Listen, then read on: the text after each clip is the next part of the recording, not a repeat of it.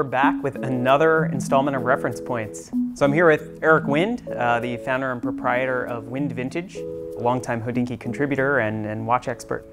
It's an honor to be here with you, Stephen. Thanks for coming. Um, you know, Reference Points is where we walk through the most important watches in history and kind of break them down watch by watch and explore what makes each piece unique and collectible. Can you maybe talk a little bit about the significance of the Submariner and why these watches are so important? So the Submariner was one of the first dive watches ever sort of purpose built for diving. For me, it's the platonic ideal of a watch. In the world of vintage Submariners, we can break things down into roughly sort of four eras, right? We've got the no crown guards era, which is, you know, ranges from the 6204 to the 5508, and all of those have cases with no crown guards. Then we have the 5512, which is the chronometer crown guard submariner, right? Except the very earliest version. Okay. Yeah. Great. And then we have the 5513, which are the non-chronometer crown guard exactly. submariners. And then we have the 1680s, which are chronometer certified and have a date. It's kind of an interesting thing that when people think of the Submariner, they often don't know the first reference that's recognized by the collector community is the 6204. This has hands that are very different than the Mercedes hour hand we see today. They call pencil hands. It has a rotating bezel, but without hash marks between the 12 o'clock and 3 o'clock positions. And the watch dial, however, shows the characteristics we see today, the triangle at 12 o'clock and the rectangles at 3, 6, and 9 on a no date. So it all started here.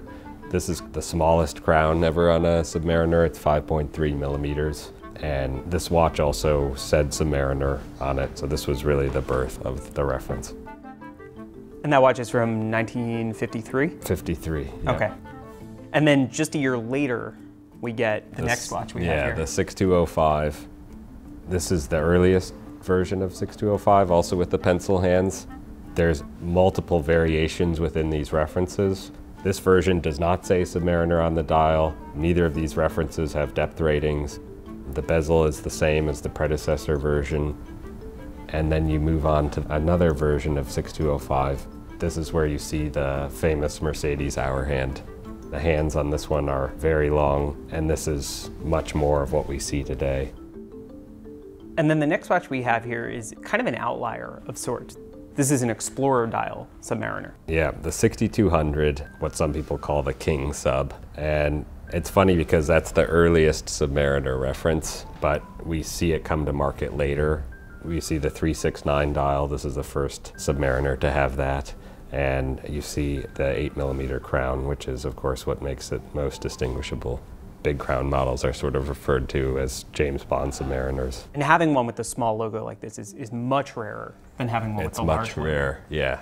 Obviously, any in really good condition are extremely desirable, and that's the first small logo I've held.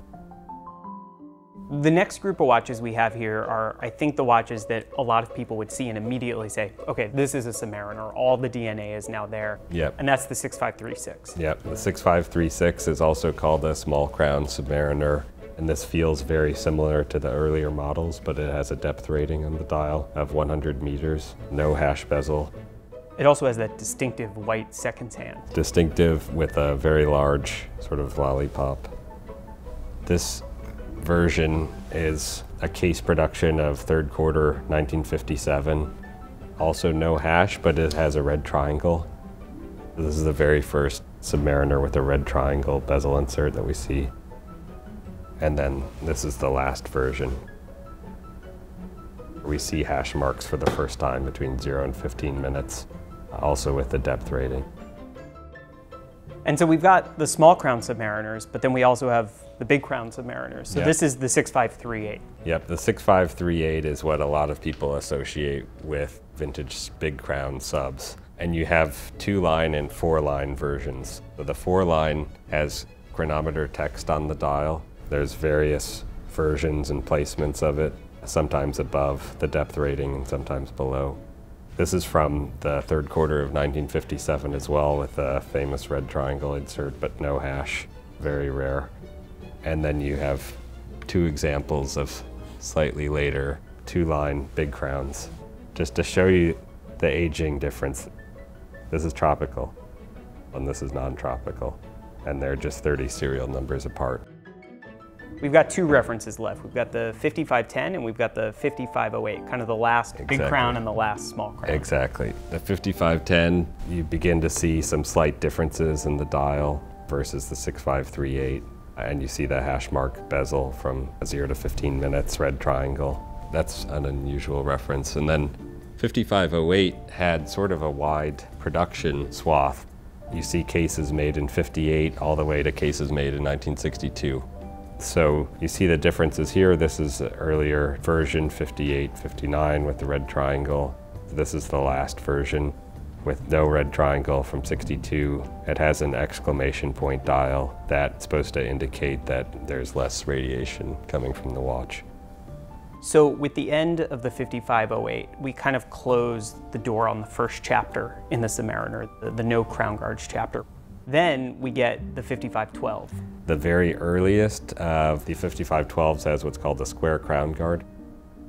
It was a very distinctive, very industrial, purpose-built design, and there's very few known today. And a number of these were shaved down, what we've called eagle beaks today, where Rolex presumably took a square crown guard watch and shaved it so it was easier to grab the crown. And of course, Rolex didn't want to do that with every watch, so they switched to this pointed crown guard design. Very few 5512s with red triangle inserts. You get to the pointed crown guard and they keep that design for a few years. Once we go to pointed crown guards, then we have the chapter ring, and then we make the jump. Yep, these are all four line dials. And these are also the micro nuances that we see during this time. This is called a neat font style where all the printing is together in the same color. This is what you more commonly see where the superlative chronometer officially certified text is a slightly different color because it was presumably added after. And then this is one of the last 5512s, which is what we call a maxi dial. The plots are larger. It's the last run of matte dials, and this is a maxi Mark III lollipop, where you see the depth rating changes from the meters first to the feet first toward 1969, 1970. And so production of the 5513 started when? Yeah, the 5513 was introduced with cases we see around 1962, and this is a very early one. It's got a chapter ring, which all these watches have, where you see the full outer circle and all the dashes come off of it. This one's also an exclamation point. It's two lines of text, of course. You'll never see a 5513 with the chronometer text. I'm throwing in some other versions that are um, very interesting and very collectible, like the Explorer dial. This also has chapter rings, so it's the earliest version of Explorer dial 5513. And I think that the collector community has found nine versions of Explorer dial Submariners. Around this time, then Rolex changed dial configurations to what people call an open chapter ring, where the dashes go straight out to the edge of the dial. And the plots sort of get larger, so it's a little bit easier to see underwater or at night. This is a version that has an underline. We see versions with the exclamation point where there's a tiny circle under the six o'clock plot, so it looks like an exclamation point. Then you see this switch to underline. Those with underline are sort of recognized to not have any radiation Geiger reading today. And this is what people are talking about when they start talking about things being gilt, gilt underline, gilt exclamation point. Yeah, these are these, these little variations. This is called the double Swiss dial.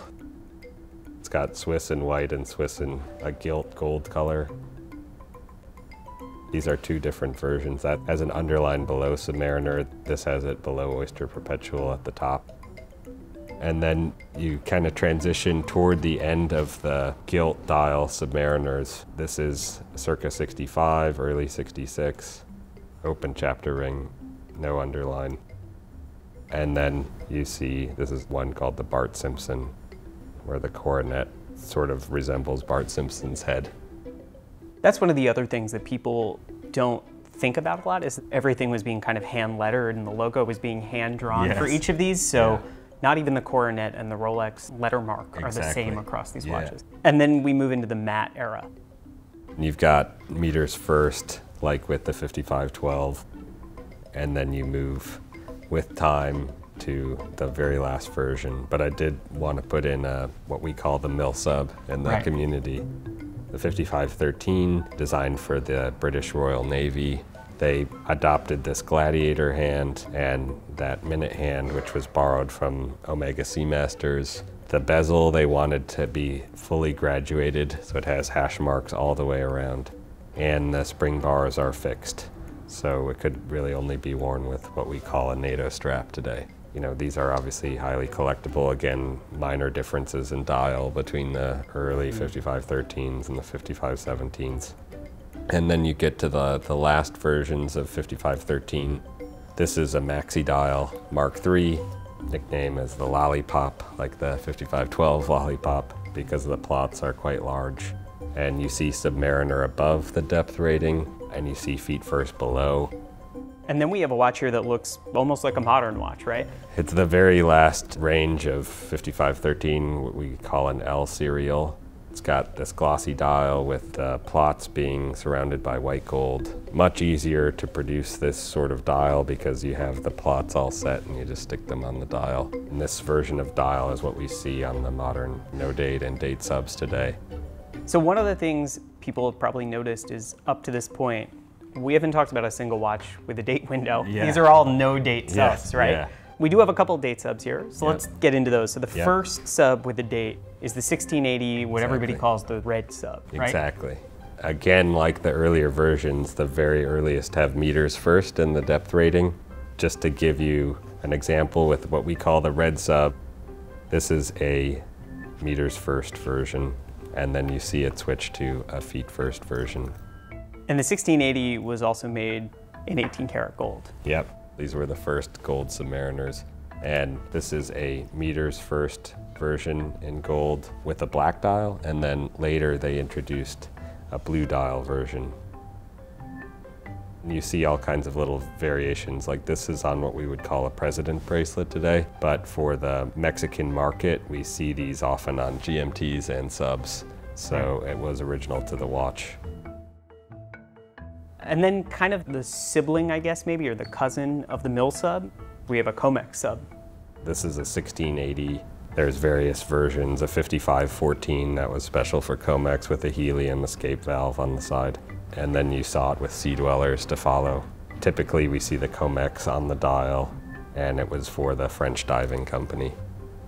Last, we've got a white sub. So instead of being in red, it's in white. And this was the watch that led to a transition into the 16800 with sapphire crystal and quickset and then all the versions through today. I've got to say, sitting down at this table and seeing all these watches in one place is pretty crazy. You know, this is not something you see every day. It's sort of an Avengers assemble cast of Submariners here. That's a really today. good way to put it. For an average person looking at this, they all look roughly the same, but for a collector looking at all the variations of these references, you never get an opportunity to see something like this, ever.